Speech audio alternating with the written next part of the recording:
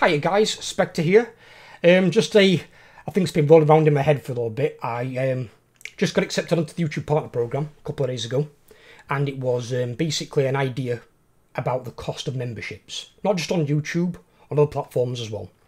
So, just want to share something with you that I've been um, digging into a little bit.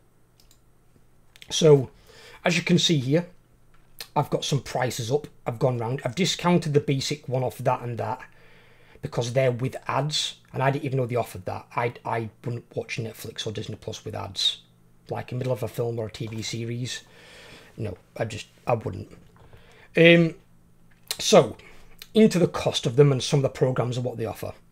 So you've got ten ninety nine, so eleven pound basically, seventeen ninety nine, eighteen pound. That's a bit steep. Not bad if you watch a lot of it, which we do. Watch a lot of films, and then I've put down some TV series that I like binge watch. Stranger Things, Mindhunters, both great programs. You know, you've got triple, uh, you've got some A-list talent in actors and actresses across all these platforms.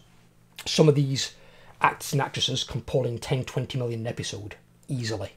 They were pulling 20 million episode on Friends back in the day, and um, Big Bang Theory not too long ago. Um, so if, if the actor, just one actor, is pulling in that as salary per episode, imagine what these productions cost. So you've got all the crew, you've got all the equipment on the set, the editing, all this that goes into it. You're going to be talking hundreds of millions, probably even in the billions, to make an entire TV series. If it's like one of the, well, example like Game of Thrones is smaller, in terms of episodes. You've got some that have got more episodes, like Big Bang Theory, but they're both going to be costing a lot. You might have 20 episodes for a Big Bang Theory season. You might only have like 7 or 8 for Game of Thrones. Or it might be 10, I think, something like that. Uh, Disney Plus, 7.99. That's the cheapest of the bunch on that one. Or 10.99 for their premium version. So, same as the standard version for Netflix. Netflix is a bit more pricey. Um, but I think it just probably put on maybe a little bit more content. But Disney Plus, obviously, I put Star Wars series Mandalorian. I binge watched the fuck out of that. You've also got things like Loki with the Avengers stuff and all that on there. They're offering a lot of good stuff. Amazon Prime, eight ninety nine. I put Rings of Power maybe because it was a bit hit and miss. But apparently they are bringing out Silmarillion as well. So I'm not sure if that's going to be film format or TV series format. But they're bringing that out as well. Eight ninety nine. I think it's similar to the same price as like a tier 2 sub on Twitch. Probably a bit expensive to be fair for, for Twitch. But if that's what I'm going to charge for Amazon, because that for like supporting one channel on Twitch is a bit of a rip off to be fair. It should be that the basic sub price, the 4.99. Um, HBO, Game of Thrones, enough said. A global phenomenon. Everyone fucking loved it. It was great. And um, they've got more coming out as well. I'm potentially going to go and do the prequel to where they were on the um, on on is it Illyria or something? What it's called? The uh, the island they came from with all the bloody dragons. Now this one's weird with HBO because I couldn't find it on the main page, but eight pound four p basically, but that's with ads, which is a bit excessive. And then without ads is twelve pound eighty eight. So they're the dearest, but probably because of what they're offering in terms of like Game of Thrones. You think how many A list actors and actresses were in Game of Thrones? There was a lot. Was a lot and some of those have gone from that TV show into like big A-list films now, like you know your, your main films. Now these are offering a lot of high production content, a lot of really really big programs. Stranger Things, Mindhunters, Star Wars, Avengers type stuff, Rings of Power, your Game of Thrones. I think HBO also did Supernatural, which my boys, Supernatural, Dean, Sam, Castiel, my boys. Um, but they're offering these amounts. I've just got onto my YouTube partner program, and I knew what I was going to charge before I even got on the on the program, because I was going to charge the same amount for a basic sub on Twitch. That was always my intention, which is cheaper than all of those and not too expensive. But we're never going to make production videos as high quality as those you'd have to have their kind of money. You're talking hundreds of millions, potentially even billions. And you've got super rich people in there, the actors and actresses themselves. £4.99 is not an excessive price. I'll pay that. I was subscribed to quite a few channels on Twitch until I made my move permanently to YouTube, but I don't really watch Twitch that much anymore. It's only while I was there. And some of those channels don't stream anymore. Um, now, I would become memberships to some channels on YouTube, but at the moment, obviously, I've not got money coming in as a wage where I can afford it. But eventually, I probably will do. But while I was looking at some channels the other day, noticed that some, while they might offer this price point, they offer some that are excessively higher. And it just got me thinking, you've really got to think about the content you're putting out and the content you're making. I don't mean the quantity of the content. Some people might only make one video a week. You make one video a week, that might be how your channel can operate and work. And it might take you an entire week to gather the information to make that particular video. But what you've got to ask yourself is, if you're charging the same prices as some of these, so the cheapest one is Disney Plus, standard, at $7.99. If you're charging even that, are you offering the same quality content as Disney Plus? And bear in mind, for a TV series, they'll put out one episode a week. So the same as if you're putting out one video a week. Me, I put out two videos a day. So I'm putting out 14 videos a week. I make up for it in the the number of my content, the quantity.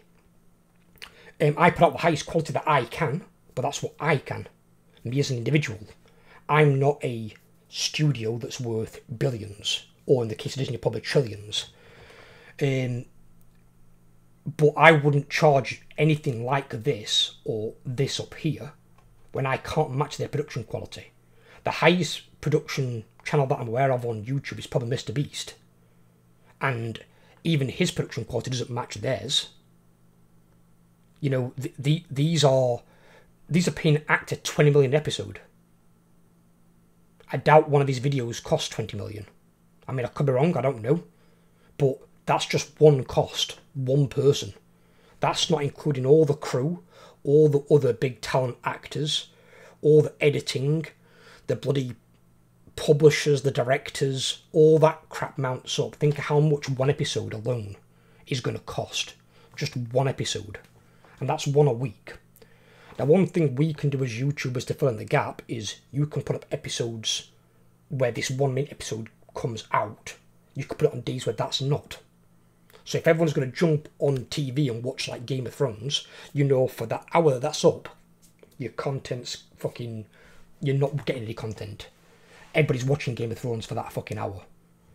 So you can't compete with that in that time slot. So you need to either do it before that goes live or after, or do it on different days. If you're doing like one video, like a lot of channels I watch do one video a day. So one video a day is good. I think that's for like easy production videos. That's something you probably should be aiming at. One video a day is, a good amount to do. But when some are offering even like some cases twice this amount for a membership, you've got to look at something like this and think, is it worth it for whatever it is you're offering for your perks? Now, some offer like exclusive videos and things like that, and um, like even I've got like a Discord rank where you can get your spook rank on Discord, but mine's all included in this one price. I'm not going to try and blow smoke up someone's ass and sugarcoat it. I'm not going to charge them those prices when I can't match that production value. You can't. Nobody on YouTube can. Nobody on YouTube, probably even YouTube itself, can't match production value of these. And they don't make their own TV series, at least not aware of yet. If YouTube starts making some of their own TV series, that'd be quite cool. But they would have to charge like this sort of amount more than likely. But at the moment they don't. They just have their like their creator stuff that they do. And while they're not bad videos, they're not the production level of these. Of course not. They're not going to match between fucking Stranger Things, Mandalorian, not even close. So if if you're charging the same as these, or more than these, you need to really think what it is you're offering. Because I guarantee there's not a person on YouTube offering the same as some of these series. And if you can realistically look at that and say, yeah, my content's not as good as those TV programs, then your membership shouldn't be that high. You should definitely lower it down and be a bit more realistic.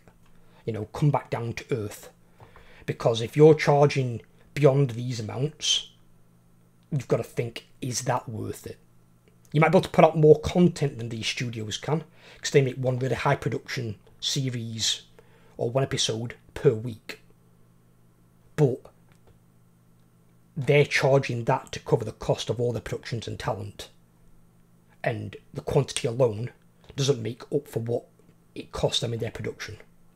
So you've really got to think is the membership price that I'm charging worth that? If it's if it's a little bit more than this, say like 550, 6 pound, maybe even 650, that's probably okay. If it's lower, definitely going to be okay because 4.99 to me is okay. I'd even probably pay 5.50 for some channels, maybe 6 pound on the on the high side. But that's like what 2 pound less than this starting to creep up there. But when some charging double, triple, even more, I think I saw one channel charging eighty nine ninety nine a month. That's more than this is for the goddamn year. It's like what psychopath is paying, char- well, charging that one, and who the hell's going to buy that? If someone's bought that, bloody hell, you've got some super supporters that have got really, really loose wallets.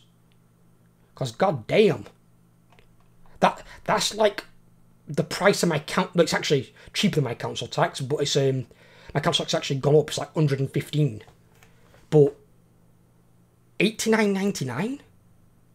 Jesus Christ. Yeah, some of these prices need to be significantly lowered. If you want multiple price points, that's completely fine. You know, just like these have got on here. There's nothing wrong with multiple price points. But think about your dearest one and then make all the others cheaper. Don't don't have them at these prices because you're not matching this production value at all. You're not. If you think you're matching Stranger Things in production value, I'm telling you right now, you're just wrong. You are wrong. You're not matching any of these TV shows in production value. So don't charge their price when you can't match it. Be more realistic with your membership price, and you'll probably see yourself get more members because people will be happy to support you and support their YouTuber and realistically what they can afford. So just look at it objectively, and I hope it's elevated some of your thinking, opened your eyes a little bit. And um, if you guys enjoyed the video, leave a like. If you're new around here, please subscribe, and I will catch you all in the next video. Take care, everyone.